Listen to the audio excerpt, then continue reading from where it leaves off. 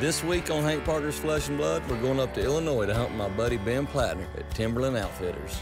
Dad shows up right in the middle of the storm, but he's not going to let a little bad weather get in his way. He packs his gear and he's off hunting.